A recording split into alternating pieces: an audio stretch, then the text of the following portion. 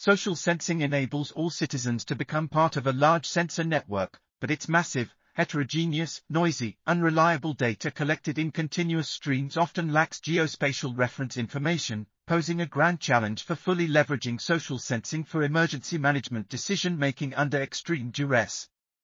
Big data computing methods and technologies such as high-performance computing, deep learning, and multi-source data fusion become critical components of using social sensing to understand the impact of and response to disaster events in a timely fashion.